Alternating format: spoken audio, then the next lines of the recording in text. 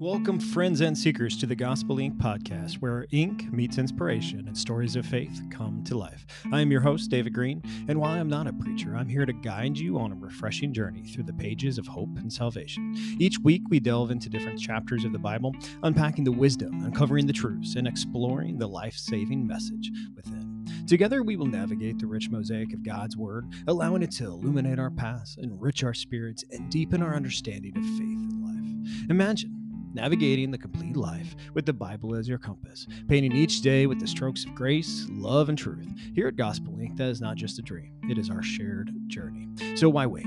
Embark on an enlightening adventure with us. Let your spirit be stirred and your heart be filled with the warmth and ultimate truth. Stay tuned and stay blessed as we unfold the vibrant hues of the gospel, only here on Gospel Ink.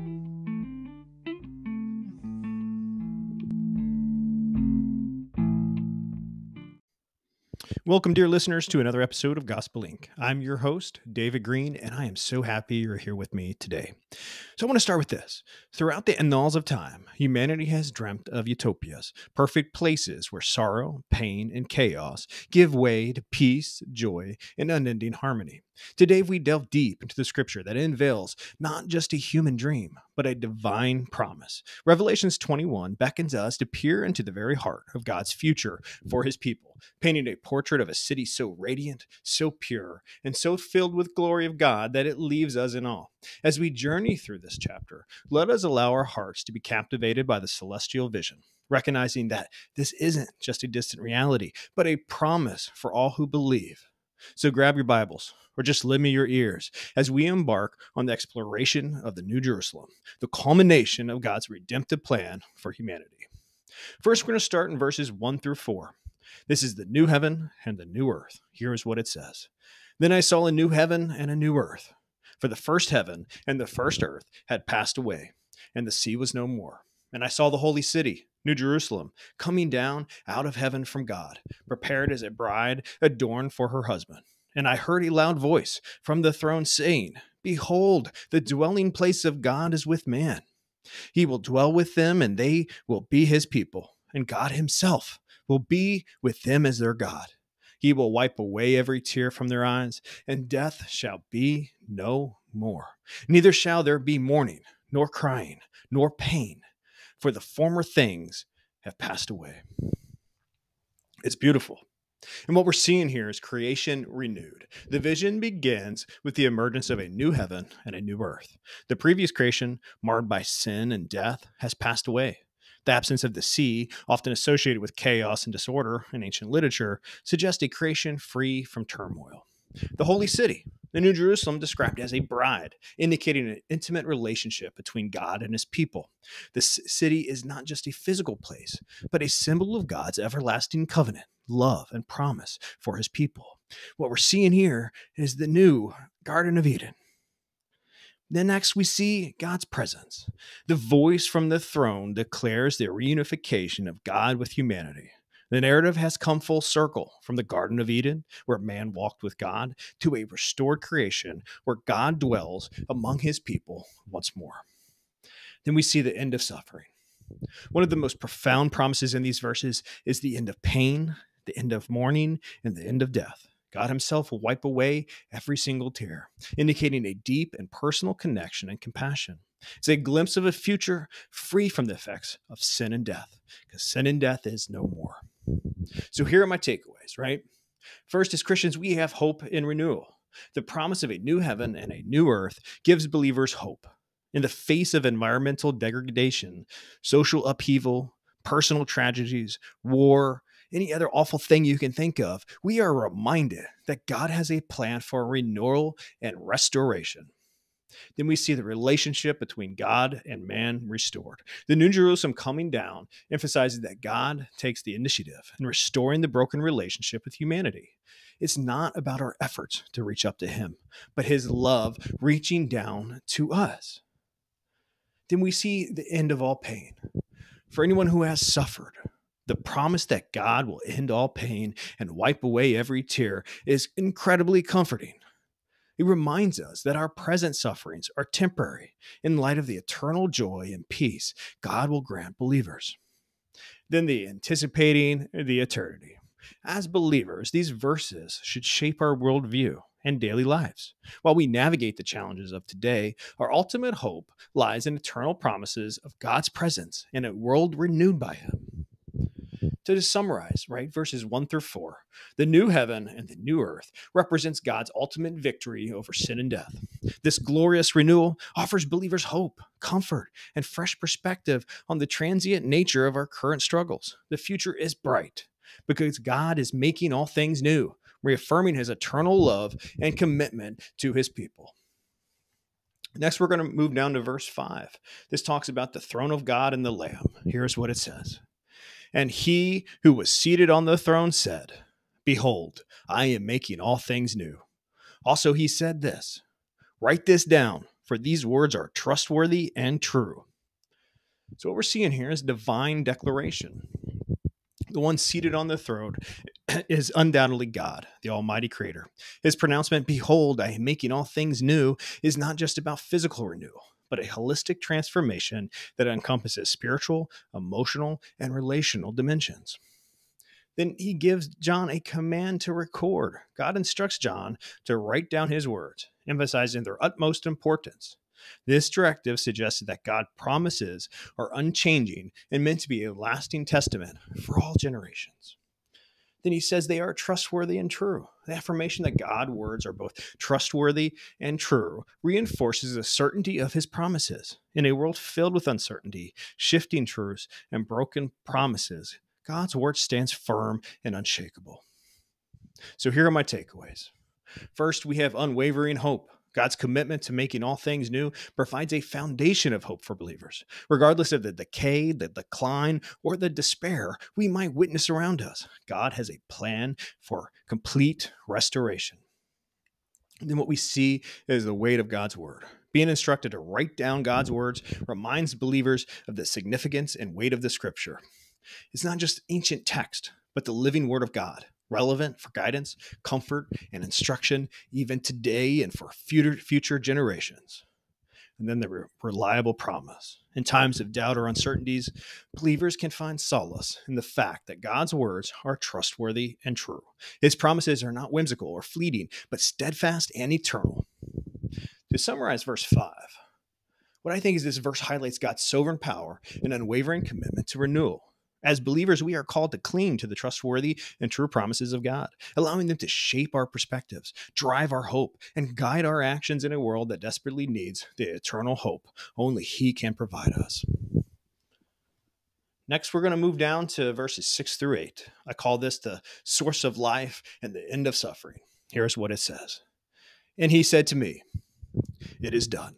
I am the Alpha and the Omega, the beginning in the end. To the thirsty, I will give from the spring of the water of life without payment. The one who conquers will have this heritage, and I will be his God, and he will be my son.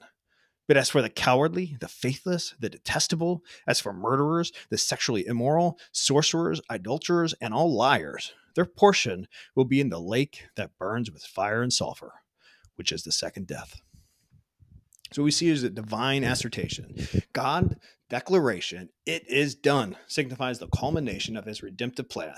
He introduces himself as the alpha, alpha and omega, reinforcing his eternal nature and that he encompasses all of history from beginning to end. And then we see the water of life. God offers the water of life to those who thirst is symbolic of spiritual sustenance and eternal life. This is given freely, underscoring the ideal that salvation cannot be earned, but is a gracious gift from God than the promise of heritage, right? Those who overcome or conquer by maintaining their faith in Christ are assured of their eternal heritage with God. This mutual relationship is emphasized through the phrase, I will be his God and he will be my son. But wrapping this up, right? He has a warning of judgment. The passage doesn't shy away about, from mentioning the consequences of unrepented sin. The list of those who will experience the second death serves as a solemn reminder of God's justice and the gravity of rejecting him. But here's some important words I want to highlight in this verse. First, the one who conquers. Throughout the letter to the seven churches in Revelations 2 and 3, the phrase to the one who conquers, or variations of it, appears repeatedly. In the context of Revelations and the broader New Testament, to conquer or to overcome refers to believers who remain faithful to Christ amid persecution, temptation, and challenges of life in a fallen world. It's about a spiritual victory over the forces that oppose God and his people. Next, we'll have this heritage. This heritage or inheritance in some translations refers to the blessings and promises that God has reserved for his people in the new heavens and the new earth. This includes eternal life, a world free from pain and sorrow, and intimate communion with God. And lastly, I want to highlight this I will be his God, and he will be my son. This promise echoes covenants from the Old Testament, where God often says to his people, I will be their God, and they will be my people. By extending the promise to He will be my son, there's an intimate family relationship highlighted. Believers are not just subjects in God's kingdom, they are cherished children of God's family. So here are my takeaways. First, we see the completeness of God's plan.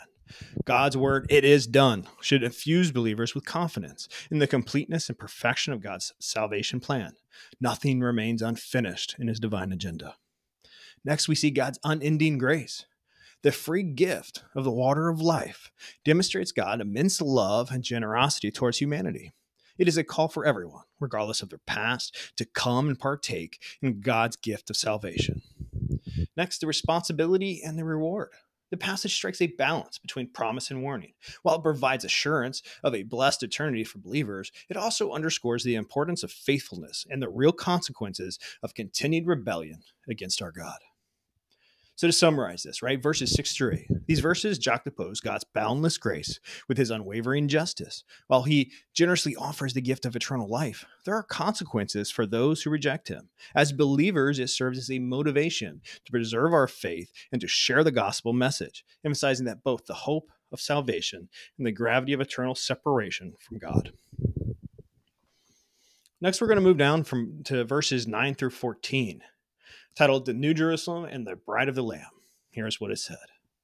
Then come one of the seven angels who had the seven bowls full of the seven last plagues and spoke to me, saying, Come, I will show you the bride, the wife of the Lamb. And he carried me away in the spirit to a great high mountain and showed me the holy city of Jerusalem coming down out of heaven from God, having the glory of God and its radiance like the most rare jewel, like jasper, clear as crystal. It had a great high wall with 12 gates, and at the gates, 12 angels, and on the gates, the names of the 12 tribes of the sons of Israel were inscribed. On the east, three gates, on the north, three gates, on the south, three gates, and on the west, three gates. And the wall of this city had 12 foundations, and on them were the 12 names of the 12 apostles of the Lamb. All right, so what we see here, right? The angel's invitation. An angel, previously involved in pouring out judgments, now guides John to a different vision a vision of hope, beauty, and restoration. This shift from judgment to restoration encapsulates the dual nature of God as just and merciful. Next, we see the bride's splendor. The New Jerusalem presented as the bride represents the collective body of believers in Christ. Its descent from heaven indicates a divine origin and purity. Described in radiant terms, the city reflects the glory of God, showcasing his majesty and splendor. Then we see the city's fortifications. The high walls signify protection and sanctity. The presence of the 12 gates with angels emphasize order, access, and security. The inscription of the names of the 12 tribes symbolize continuity of God's promise to Israel. Then we see the foundations of the apostles. The mention of the 12 apostles as the city's foundation indicates the crucial role they played in establishing the early Christian church. It's a testament to the unity of God's covenant people, both from the Old and the New Testament. So here are my takeaways, right? Transition from wrath to restoration.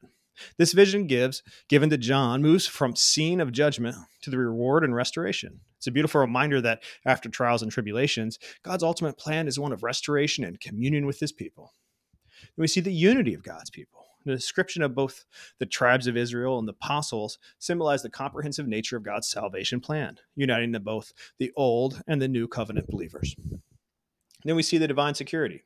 The detailed description of the New Jerusalem fortification assures believers of their safety and eternal security in God's presence. The heavenly city is not only a place of beauty, but also a place of peace. Then we see the magnificence of God's glory. The radiance of the city serves as a tangible reflection of God's glory. For believers, it's an anticipation of the grandeur and beauty that await them in eternity. To summarize verses 9 through 14, these verses uh, offer a breathtaking glimpse into the New Jerusalem, highlighting its divine origin, protection, and the unified body of believers. It serves as a beacon of hope for Christians, reminding them of their glorious future and the eternal rewards that surpass anything the earth can give you or that you can receive in the earth. Next, we're going to move down to uh, verses 15 through 21, the dimensions and the beauty of New Jerusalem. Here's what it says And the one who spoke with me had a measuring rod of gold to measure the city and its gates and walls. The city lies foursquare, its length the same as its width. And it, he measured the city with a rod, 12,000 stadia. Its length and width and height are equal. He also measured its walls, 144 cubits by human measurement, which is also an angel's measurement. The wall was built of jasper, while the city was pure gold, like clear glass. The foundations of the wall of the city were adorned with every kind of jewel. The first was jasper, the second sapphire, the third agate, the fourth emerald, the fifth onyx, the sixth carnelian, the seventh chrysolite, the eighth beryl, the ninth topaz, the tenth chrysoprase, the eleventh jacinth, twelfth amethyst. So, what we're seeing here is the measurement of the city. The act of measuring signifies precision, order, and purpose. Using a gold measuring rod, the angel provides specific dimensions of New Jerusalem, emphasizing its grandeur and divine design. So, the New Jerusalem, as described, would be a cube, with each side measuring about 1,380 miles in length, width, and height. So, let's provide some perspective here. A length of 1,380 miles would span a significant portion of a continent. For instance, in the US, it would stretch from the East Coast to beyond the Mississippi River. And a height of 1,380 miles would extend far beyond the Earth's atmosphere, right into space. But we also see here, right, is perfect symmetry. The city is described as foursquare, with its length, width, and height being equal. This is perfect symmetry, uh, symbolizes completeness and perfection in God's design. Then we see sublime materials. The use of precious stones and metals like jasper, gold, and a multitude of other jewels represent the unmatched splendor and purity of the city. The city's gold likeness to clear glass emphasizes its untainted and radiant nature. Then we see the foundations adorned. The 12 foundations, each represented by a distinct jewel, not only add to the city's aesthetic beauty, but may also symbolize various truths or attributes of the kingdom of God. So here are my takeaways. First, what we see in this design is God's attention to detail. The meticulous measurements and detailed descriptions reveals God's attention to detail, reinforcing that everything in his kingdom is purposeful and perfectly designed. Then we see the eternal beauty and purity. The radiant materials and precious stones employed in the construction of the city serve as a reminder of the eternal beauty and purity that await believers. Then we see the symbolic foundations, the adorned foundations, each with a unique jewel, can be a reminder of the diversity, yet unity in the kingdom of God. Each stone might represent different attributes, blessings, or promises of God, reflecting the richness of his eternal kingdom. So, in summary, right, verses 15 through 21 paint a vivid picture of the New Jerusalem's magnificent design, emphasizing its grandeur, beauty, and divine perfection. For believers, it's a glimpse into the glorious inheritance awaiting them, crafted by God in unmatched artistry and purpose. It serves as an encouragement to look forward to the eternity where beauty, purity, and God's perfect design are realized in its fullness. Next, we're going to move down to verses 22 through 27. I call it the templeless city and the Lamb of Light. And here's what it says And I saw no temple in the city, for its temple is the Lord, God and Almighty, and the Lamb. The city has no need of sun or moon to shine on it, for the glory of God gives it light, and its lamps is the Lamb. By its light will the nations walk, and the kings of the earth will bring their glory into it. And its gates will never be shut by day, and there will be no night there. They will bring into it the glory and the honor of the nations, but nothing unclean will ever enter it nor anyone who does what is detestable or false, but only those who are written in the Lamb's book of life. So, what we see here is the absence of a temple. In ancient cities, temples were central to worship and religious activities. The absence of a temple in the New Jerusalem emphasizes God's direct and unhindered presence with his people. The need for a symbolic structure vanishes as God himself and the Lamb are in the city's centerpiece. Then we see God's radiant glory. The city doesn't require natural sources of light like the sun or moon. The omnipresence, the radiant glory of God illuminates it, signifying his unpar- unparalleled majesty and the Lamb's redemptive role. Then we see nations and kings. The reference to nations and kings signifies the universality of God's kingdom. leaders, and people from all nations will recognize and honor the supremacy of God, indicating the universal acknowledgement of his sovereignty. Then we see open gates and eternal day.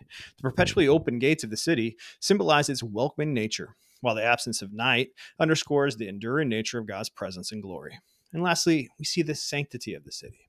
The New Jerusalem is a place of purity and righteousness. Only those whose names are inscribed in the Lamb's book of life, representing the redeemed, will enter it, emphasizing the importance of genuine relationship with Jesus Christ, our Lord and Savior. So here are my takeaways. First, we see the direct communion with God. The absence of the temple underscores the privilege uh, believers will have in enjoying direct communion with God, emphasizing a restored relationship that echoes Adam and Eve. Then we see the unfading light of God. The city's illumination by God's glory offers believers the hope of an eternity free from darkness, both literally and metaphorically. Then we see universal worship. The gathering of nations and their leaders to honor God showcases the universal worship and acknowledgement of God's majesty, offering a glimpse of harmonious global unity. And lastly, we see eternal security and purity. The open gates and the selectiveness of the interest highlight both the city's inviting nature and its commitment to purity. So to summarize, right, verses 22 through 27, these verses offer a portrait of the New Jerusalem as a city marked by God's direct presence, his radiant glory, and an atmosphere of universal worship. It encapsulates the hope of eternal communion with God, unhindered by worship, and the joy of dwelling in a place of unparalleled beauty, sanctity, and peace. So, as we draw to a close on today's journey through Revelations 21, let's pause and reflect. This celestial city, the New Jerusalem, isn't just an ethereal concept or a poetic metaphor. It is a promise, a promise of a future where every tear will be wiped away, where the former things have passed and all things are made anew. But, dear listeners, the beauty of this promise is not just in its grandeur or splendor, but in its accessibility. The gates of the city are open, welcoming all who have embraced the Lamb, Jesus Christ. Every story we cherish has a beginning and an end. Our lives, too, our stories written on the canvas of time. And while there may be chapters of pain, of loss, and uncertainty, let the promise of the New Jerusalem be a beacon of hope that illuminates your path, reminding you that the final chapter for those who believe is one of eternal joy, peace, and communion with God. So, as you step out into your coming days, let the vision of this holy city embolden your faith, inspire your actions, and anchor your hope. For, in the words of the Apostle Paul, what no eye has seen, nor ear has heard, nor the heart of a man imagined. God has prepared for those who love him. Thank you for joining me today on Gospel Ink. may your hearts be inked with everlasting gospel, and may your shine as a light, reflecting the promise of the glorious city. Until next time, stay blessed and keep the faith.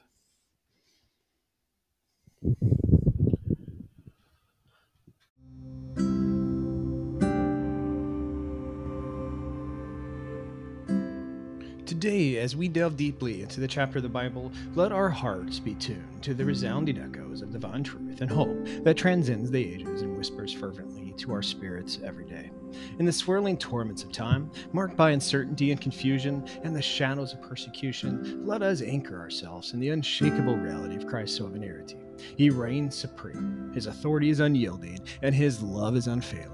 Remember, he is the triumphant King who holds the keys to life and death, whose resurrected power pulses in our veins of creation, promising us victory over the grave and the gift of eternal life.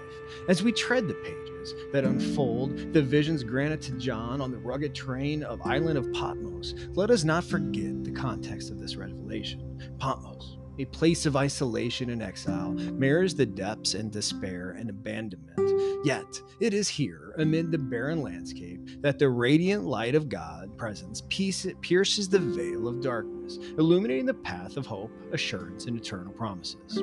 Here it states Do not be afraid. I am the first and the last. I am the living one. I was dead, and now look, I am alive forever and ever, and I hold the key to death and Hades. In the face of towering and impressive rulers. John, the apostle of love, received the unyielding words of Christ, a message of flame with resolute courage and unyielding victory.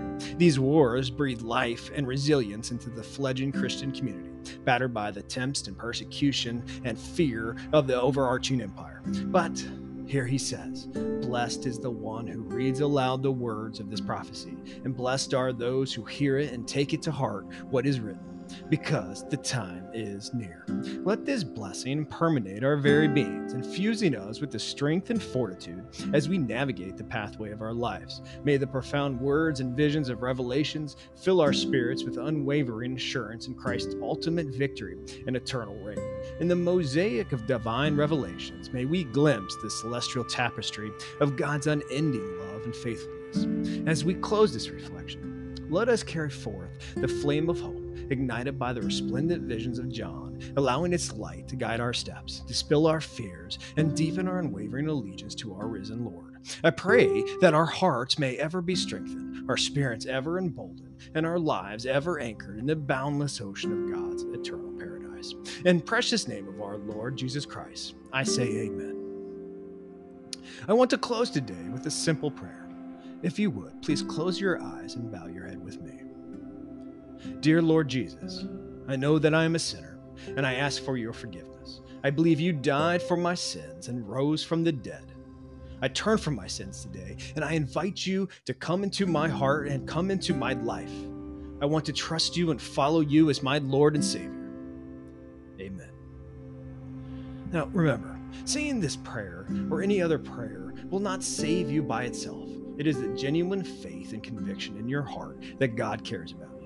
The words are simply a way for you to express your faith and commitment to God. The true salvation experience comes from truly believing in Jesus Christ as your Lord and Savior, feeling remorse for your sins, and living a life that shows commitment to following His teachings. Now, I want to thank you, right? Thank you for following with me today, for listening to my words.